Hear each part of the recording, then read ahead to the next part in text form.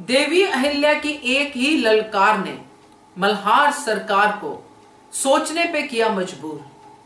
द्वारका रानी का मुँह किया बंद और राघोबा के षड्यंत्र को किया निस्तनाभूत नमस्कार दोस्तों, स्वागत है आपका आपके अपने चैनल हंगरी स्पिरिट्स में। हंगरी स्पिरिट्स देख रहे सारे दर्शकों का मैं अंजू शर्मा दिल से स्वागत करती हूँ। यही इसी कड़ी वाली देवी अहिल्या हमें चाहिए थी। इतनी ही निडर थी देवी अहिल्या और इतनी ही विश्वास से भरी हुई थी कि जब वो बोलती थी तो दूसरा देखता ही रह जाता था।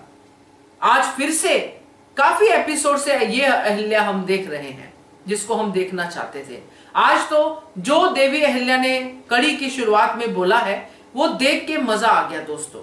द्वारका रानी हिल गई तो आज इसके ऊपर बात करते हैं। पहले वही निवेदन, जिन्होंने अभी तक चैनल को सब्सक्राइब नहीं किया है, कर लीजिए साथ में दोस्तों। बेल आइकन दबाइएगा ताकि आपको हमारे वीडियोस के नोटिफिकेशन मिलते रहे।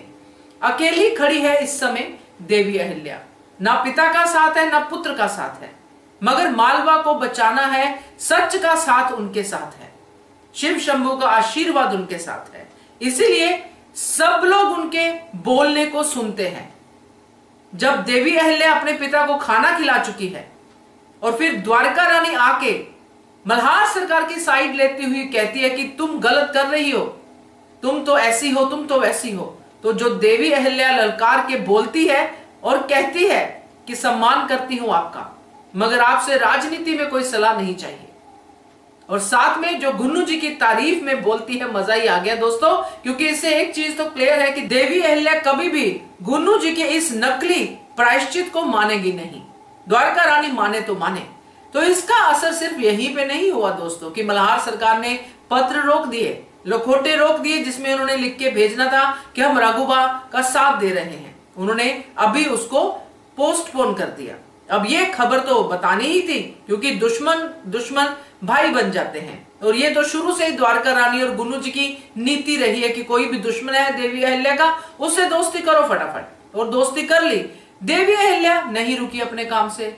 उन्होंने अपना काम जारी रखा दोस्तों। ये है उनसे जो सीखने वाली बात है। इतनी बड़ी मुसीबत है, सारा का सारा मालवा का दरबार उनके खिलाफ है। मगर वो अपनी जनता को नहीं छोड़ सकती है। जनता दरबार में गई।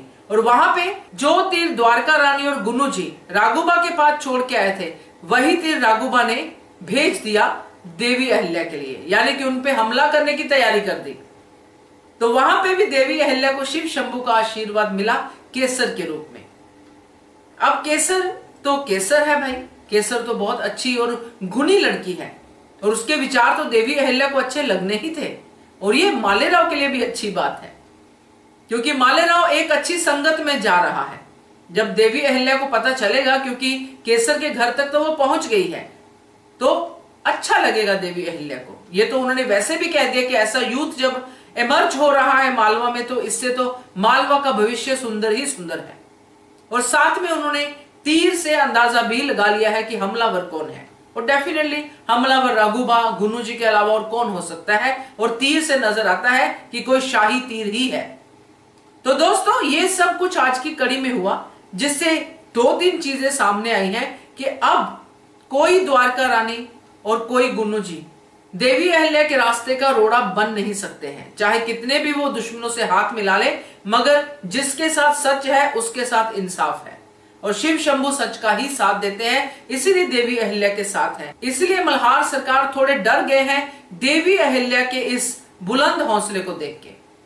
आगे देखते हैं क्या होता है, क्योंकि बहुत जल्द राघुबा के इस षड्यंत्र से नकाब उतरने वाला है दोस्तों क्योंकि जितना कॉन्फिडेंस देवी अहिल्या दिखा रही हैं, उससे एक ही चीज़ सामने आती है कि षड्यंत्र तो पक्का हुआ है क्या कहते हो आप इसके बारे में कमेंट कीजिएगा, देखते रहिए channel Hungry Spirits thank you so much Subscribe to our channel by clicking the subscribe button. Click the bell button and enjoy the latest uploads from our channel.